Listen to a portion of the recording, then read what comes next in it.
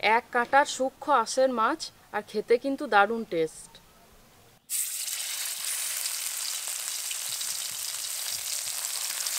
দেখুন কত সুন্দর লাগছে দেখেছেন?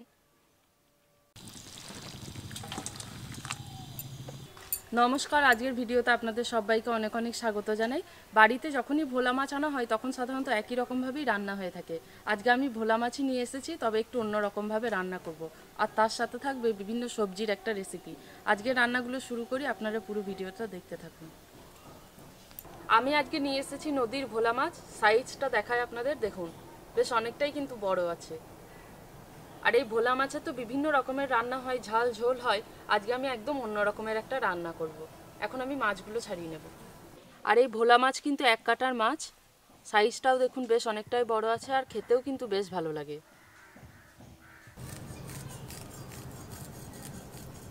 আর এই মাছের আঁশ কিন্তু খুব সূক্ষ্ম।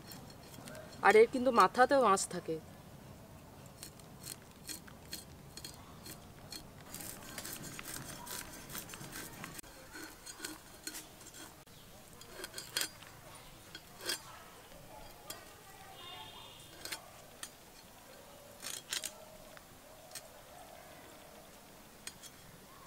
আর এই মাছের কানকোগুলো কেটে বাদ দিয়ে দেবো।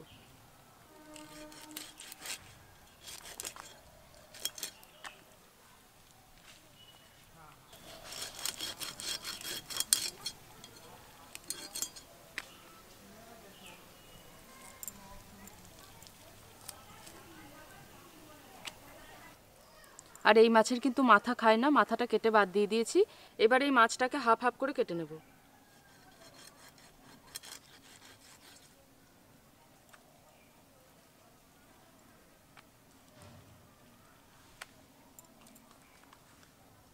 দেখুন। ঠিক একইভাবে বাকি মাছ দুটো আমি কেটে নেব। আর এই কানকো থেকে ঠোঁট একদম পুরো বাদ চলে যাবে।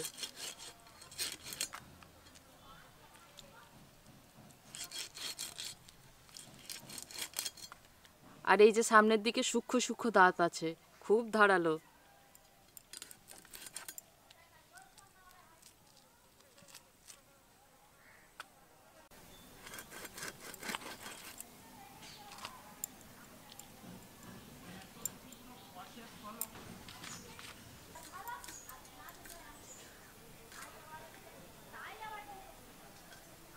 মাছগুলো সব কেটে নিয়েছি এবার ধুয়ে নিয়ে চলে আসব।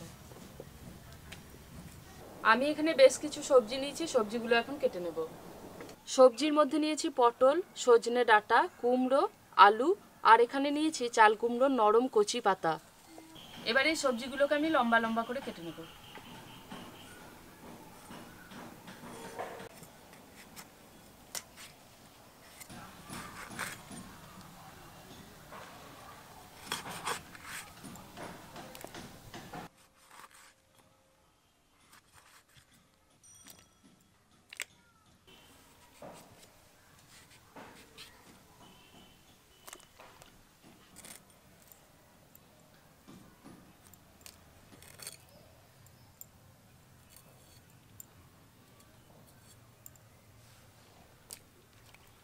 চাল কুমড়ো পাতাগুলোকেও কুচি করে কেটে নেব।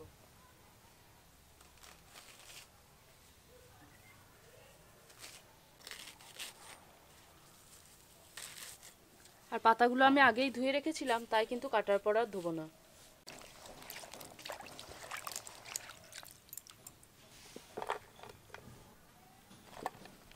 আজকে আমি পাঁচ মিশালি সবজি দিয়ে যে রেসিপিটা বানাবো, সেটা হচ্ছে পাঁচ মিশালি কাঁটা চচ্চড়ি। তার জন্য এখন মশলাটা বেটে নেব। গোটা জিরে এক চা চামচ, এরই সাথে দেব আদা, রসুন আর কাঁচা লঙ্কা।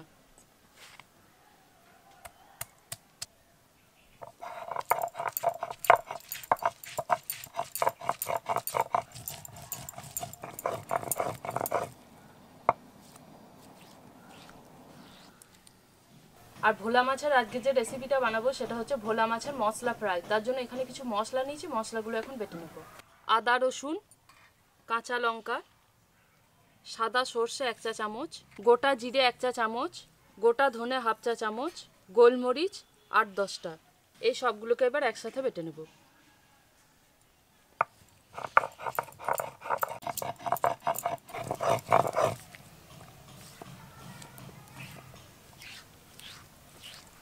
কেটে রাখা ভোলা মাছগুলোকে এখন মশলা দিয়ে মেখে নেব।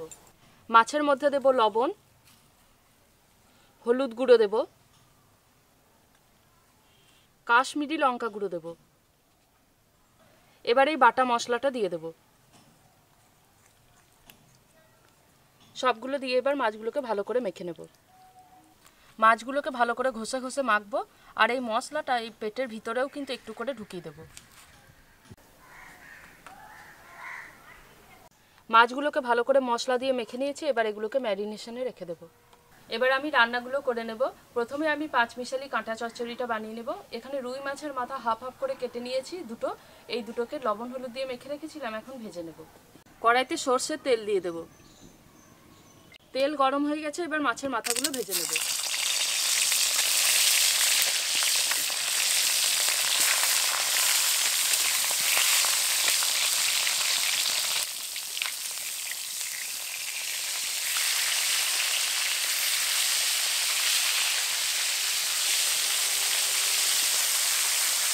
মাছের মাথাগুলো ভাজা হয়ে গেছে, এবার তুলে নেব। তেলের মধ্যে দিয়ে দেবো একটা শুকনো লঙ্কা, একটা তেজপাতা দেব। এবার দেব গোটা জিরে।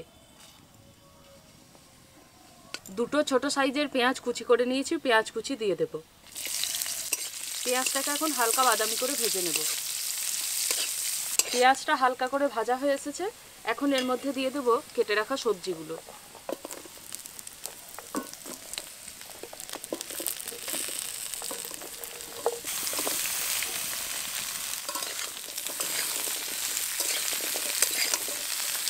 এবার এই সবজিগুলো কিছুক্ষণ ভাজা ভাজা হওয়া পর্যন্ত নেড়ে নেব।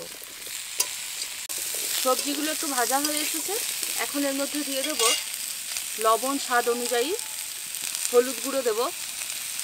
আর দেবো বাটা মশলা।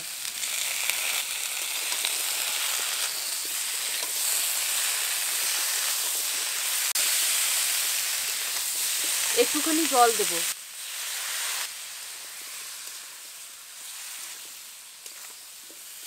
মশলার কাঁচা গন্ধ চলে যাওয়া পর্যন্ত কিছুক্ষণ ভালো করে নেড়ে নেব। তারপরে এই চাল কুমড়োর শাকটা দিয়ে দেবো। সমস্ত সবজিগুলোকে ভালো করে নেড়ে নিয়েছি আর মশলার কাঁচা গন্ধটাও চলে গেছে। এখন এর মধ্যে চাল, কুমড়োর শাকগুলো দিয়ে দেবো। আবারও কিছুক্ষণ ভালো করে নেড়ে নেব। টেস্টটাকে ব্যালেন্স করার জন্য এর মধ্যে দিয়ে দেবো সামান্য চিনি। আর চিনি দিলে সবজির কালারগুলোও বেশ ভালো থাকবে। সমস্ত সবজিগুলোকে ভালো করে নেড়ে নিয়েছি। আর দেখুন চাল কুমড়ো শাকগুলো দিয়েছিলাম, এগুলোও কিন্তু বেশ অনেকটাই জড়িয়ে কমে এসেছে। এখন এই সবজিগুলো সেদ্ধ হওয়ার জন্য জল দিয়ে দেবো।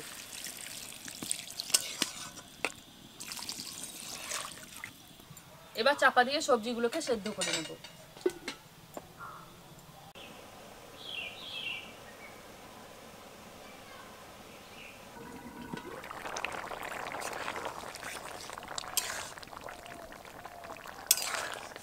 সবজিগুলো কিছুটা সেদ্ধ হয়েছে আর কিছুটা সেদ্ধ হতে বাকি আছে। এই সময় এই মাছের মাথাগুলো ভেঙে এর মধ্যে দিয়ে দেবো। আর এই সময় মাছের মাথাগুলো দিয়ে দিলে কিন্তু ভালো মতো সেদ্ধ হয়ে যাবে আর মাখো মাখাও হয়ে যাবে।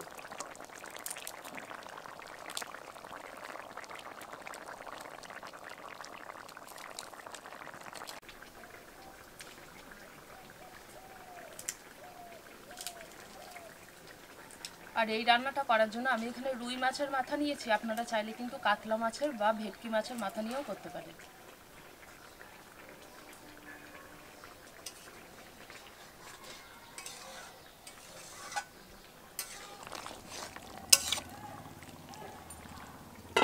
আর দেখুন, জলটাও কিন্তু ভালোভাবে শুকিয়ে এসেছে, আর কিন্তু শুকাবো না।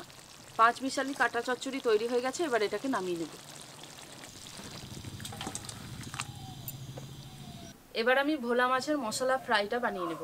কড়াইতে সর্ষের তেল নেব এবার মাছ দেব।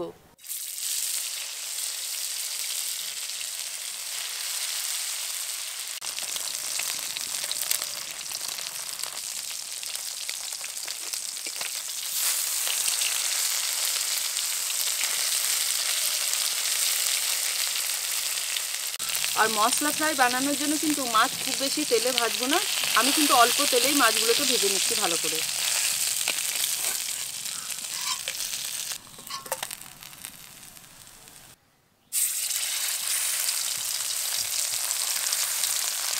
ঠিক একইভাবে আমি বাকি মাছগুলো অল্প তেলেই ভেজে নেব। আর ভোলা মাছ যদি পান, এরকমভাবে বাড়িতে একবার বানিয়ে দেখতে পারেন। দারুণ লাগে খেতে।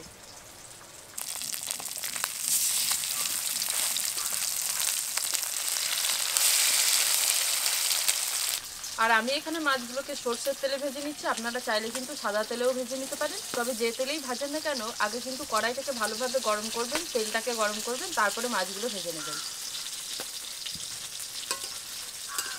এইগুলো ভাজা হয়ে গেছে, তুলে নেব।